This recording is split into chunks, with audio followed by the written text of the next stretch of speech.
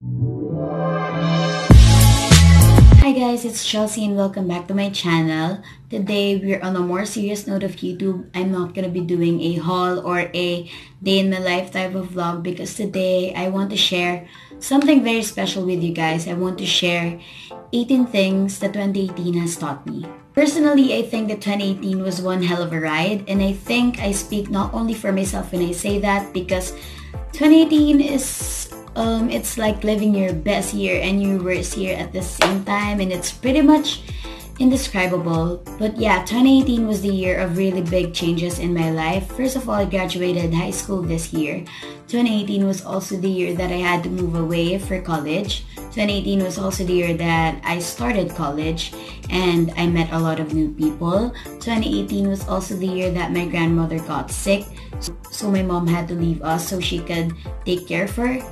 2018 was also the year that I haven't gone home for a very long period of time. It's the longest that I've not been with my family. But on a more positive note, a lot of good things also happened this year. 2018 was the year that I learned how to become independent because I live far away from my parents. 2018 was the year that I got to adapt to these changes because college really widened my perspective about pretty much everything. So without further ado, here are the 18 things that 2018 has taught me. Number one, all is as it was meant to be. Whatever state you're in right now, it's because God has a plan for you and someday you will realize that this happened because this is supposed to happen.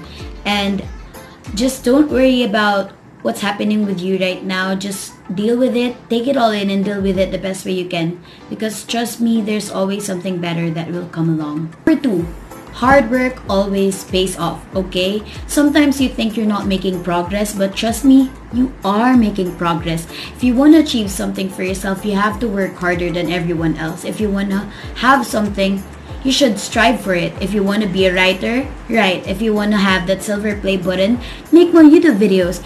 If you want to be a lawyer, then study not everything will come right at you. Sometimes you have to go for it. Sometimes you have to work hard for it. Number three is always be open-minded and kind. Realize and understand that not everyone is raised the same way as you do. People come from different walks of life and hence people behave differently. And there's always an explanation why some people act that way, which may be rude or mean to you, but there's always something behind that, so you can't really judge people. And also, do not hesitate to give out compliments. For example, you like the way someone dresses, don't hesitate to give compliments to other people because trust me, it will make their day. Just don't be afraid to be kind. It never hurts to be kind. Number four is adapt. Okay, not everyone is willing to adjust for you. Sometimes it might be harsh, but it's true. Not everyone is willing to make changes in themselves for you. So sometimes you have to compromise with other people. Number five, if receiving things makes you happy, trust me, giving would make you happier. Okay, whatever it is that you can give, donation, food, love, money, or clothes or even just a simple smile, give it to other people. Sometimes a lot of people need it more than you do. Number six, do not let your insecurities eat you up. Everyone is insecure about something. It's not just you. Number seven, do not compare yourself with anyone. Their journey is not your journey. Whatever it is that you want to achieve, I'm telling you, you are gonna make it. But the first step, trust Him and trust yourself. Number 8. Time spent alone is not always a lonely time. 2018 is the year I learned to eat alone outside, run errands alone, and sometimes spending time with yourself could be really beautiful because you get to reflect, you get to realize how really do you do without other people. You get to know yourself and you get to really learn more about yourself. And I think it's really, really nice to be able to be with yourself sometimes and to be able to withdraw yourself from other people sometimes. Number nine, your morning routine matters. Trust me on that because mornings dictate how the rest of your day will go. In the morning, feed yourself, feed your mind with the most beautiful mindset because trust me, the rest of your day will be beautiful. What I do in the morning, I fix my bed, I eat breakfast, I work out if I still have time, take a shower, do my devotions, plan the rest of my day, and start working. Because I find myself more productive if I do that.